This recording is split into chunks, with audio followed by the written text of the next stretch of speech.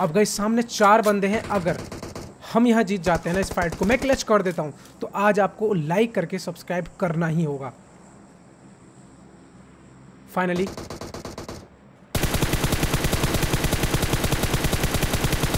एक बंदा नॉक दूसरा बंदा भी नॉक तो भी कुल मिलाकर आ चुके हैं एक और नई वीडियो के साथ वापस। और भाई, इस वाले मैच में ना, आज एक ऐसी फाइट आप लोगों को देखने को मिलेगी जहाँ ना हम तीनों साइड से गिर जाते हैं और फिर भी देखो हम वहाँ पे कैसे उस सिचुएशन से बाहर निकलते हैं। फ़िलहाल भाई, सबसे पहले जैसे ही मिलिट्री बेस कूदे, आज भाई लकली मेरे को गन मिली और उसके बाद में, मैंने सीधा बंदोब्रश किया।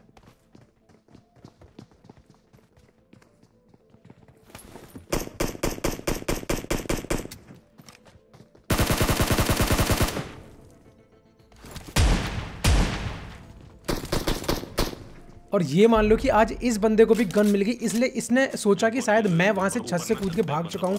इसलिए मेरे पीछे आता है, लेकिन इसे नहीं पता था कि मेरे पास ऑलरेडी गन है। अब ये बंदा तो इस वाली बिल्डिंग में रह गया था, लेकिन बाकी के इसके टीममेट्स वहाँ पर थे। इसीलिए मैं एक बॉल फेंकता हूँ और सीधा इसी बिल्डिंग पर रश कर देता हूँ। बॉल आगे आगे, मैं उसके पीछे पीछे दो बंदे स्पॉट हुए।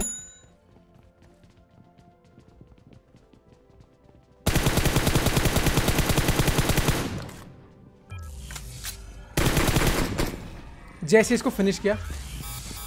सीढ़ियों से आवाज़ आई बंदे की।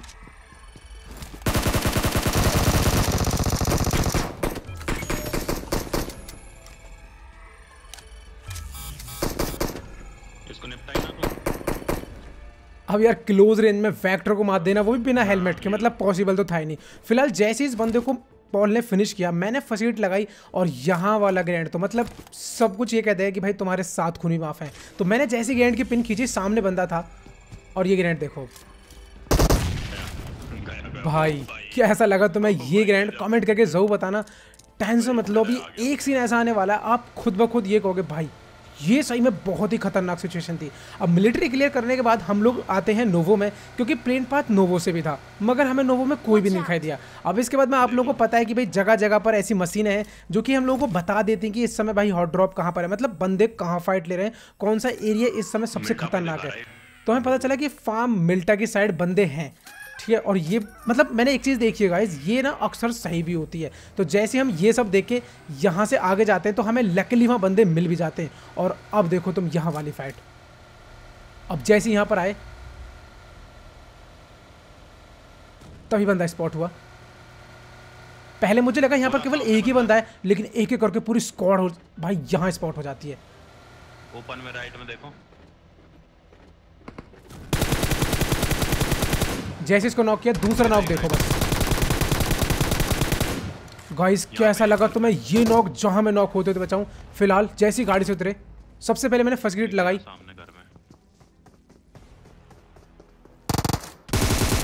और भाई ये बंदा तो बहुत इजी मर गया। अब जैसे में इस स्क्वाड को मारते हैं तो हम लोग यहाँ से निकल ही रहे थे तो मेरे को एक गाड़ी इधर दिखाई देती है एंड तभी कुछ फायरिंग के साउंड हमारे सामने से भी आते हैं। तो अब हमने उस गाड़ी को छोड़ दिया और सीधा इस डायरेक्शन को फॉलो किया। और अब देखो गाइज़ हम यहाँ क्या फंसने वाले हैं।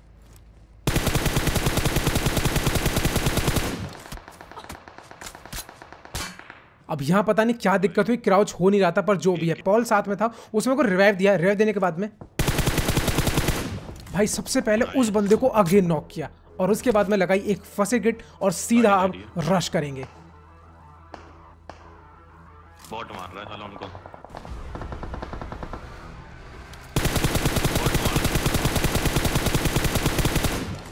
बहुत ही ज़्यादा लेट दूसरा बंदा भी मैं उतरा। और भाई पूरी स्क्वाड यहीं पे फिनिश हो गई मगर। जैसे इस स्क्वाड को मारा इस बॉट को मारा हम यहाँ पर आए तभी एक दूसरी टीम आती है और हम यहाँ घिर जाते हैं।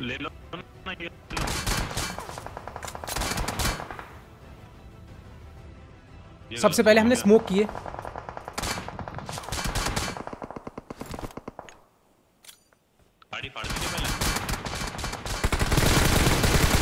उसके बाद में बनाए अपने लिए कवर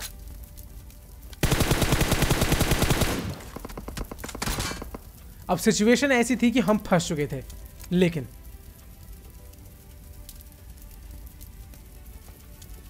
फिर भी कहीं ना कहीं थोड़ी बहुत उम्मीद थी। तो हम लोगों ने सोचा कि पहले थोड़ा फ्लैंक कर लेते पीछे चलते हैं और इन बंदों ने मुझे स्पॉट कर लिया था।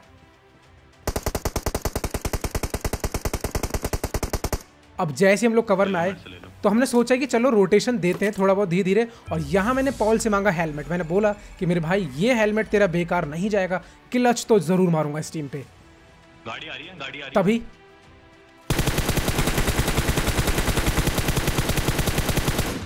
भाई, पूरी स्क्वाड ने रश किया, ये मान लो बहुत ही ज़्यादा लेट थे। मैं अगेन इनको लिट करने की कोशिश करता हूँ, लेकिन अब टाइम था एक दूसरे रोटेशन का, जो कि बिल्कुल उसी साइड में था जहाँ हम पहले थे। अब गई सामने चार बंदे हैं, अगर हम यहाँ जीत जाते हैं ना इस फाइट को, मैं क्लच कर देता हूँ तो आज आपको लाइक करके सब्सक्राइब करना ही होगा। फाइनली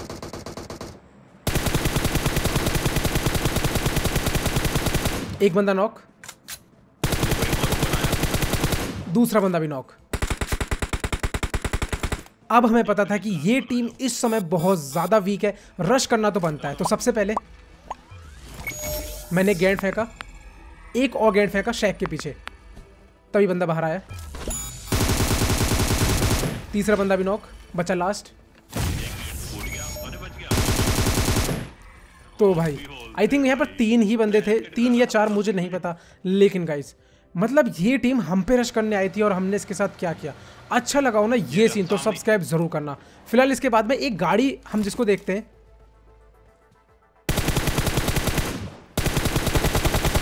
जो कि यहाँ पर आकर जाती है तो यहाँ पर केवल ये अकेले ही बंदा था, जिसको कि हमने फिनिश कर दिया। अब फिनिश करने के बाद जब हम इसकी गाड़ी के पास जाते हैं, तभी कहीं दूर से एक फायर आता है, और जो कि शायद इसी का ही टीममेट था। अब यहाँ हमारी गाड़ी का फ्यूल खत्म हो चुका था मैंने पॉल को बोला कि अगर एक है तो मैं संभाल लूँगा। तू बस जाके उसकी गाड़ी लेके आ। मैं लेके आता हूँ तुम एंड इस बंदे को भी नॉक किया।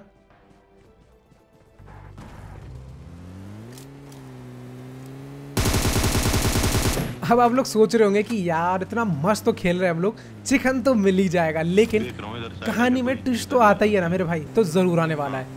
तो इसके बाद में हम लोग यहाँ पर आए क्योंकि हमने इस गाड़ी को यहाँ आते स्पॉट किया था। मतलब बंदा तो था। तो मैं गैंड की पिन खींचता हूँ क्योंकि ऐसे टाइम पे बंदा अक्सर स्कॉड हाउस में ही आता है लेकिन वो बात अलग थी कि आज वो स्कॉड हाउस में नहीं था। और सही में यार ये बंदा ना पता नहीं क्या खा के आया था। मैं इसको इतना मारता हूँ मैं स्प्रे देके छोड़ देता हूँ कि चलो अब तो ये मर जाएगा। लेकिन ये बंदा बच जाता है फिर उसके बाद में जब इसे बाद में मारता हूँ तब जाके बंदा मरता है। फ़िलहाल मैं जैसे दूसरे गेंद की पिन खींची बंदा नीचे कूदा। ये देखो यहाँ लिट किया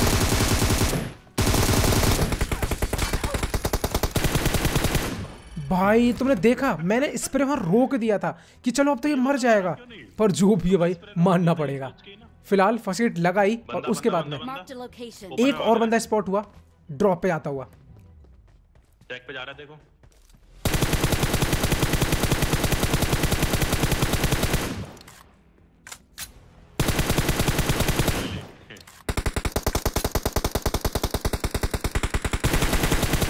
अब यार, आप लोगों को पता है कि ग्लोबल आईडी में अभी वीपीएन लैग खेलने से शॉर्ट्स रजिस्टर थोड़े से कम हो रहे हैं। बाकी अच्छे दिन भी यार, जल्दी आ ही जाएँगे। फ़िलहाल इस बंदे को मार के हम लोग वापस ही आए, तभी यहाँ की स्क्वाड आ गई।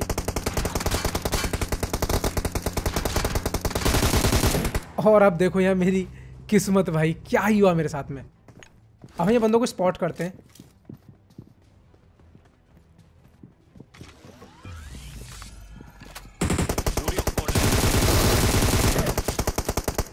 यहाँ में नॉक हो गया मगर बचने की उम्मीद थी अभी क्योंकि पॉल ज़िंदा था।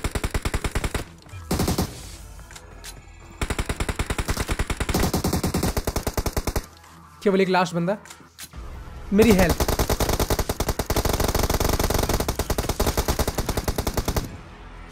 अभी मैं बच सकता हूँ। ये पॉल ने पूरी स्क्वाड को फिनिश किया मगर अरे यार मैं दबा रहा हूँ बहन बटन नहीं दबा रहा हद हो गई यार लिटरली अब यार पॉल ने बहुत कोशिश की कि वो मेरे को हाथ लगा के रिवाइव दे सके, मगर क्या ही कर सकते हैं? गेम में गिलिच है। मतलब वो कह रहे हैं कि मैंने कितनी बार क्लिक किया। फ़िलहाल उसके बाद में भाई पॉल के ज़रिए एक ओम का शॉट तो बहुत ही ओपी था।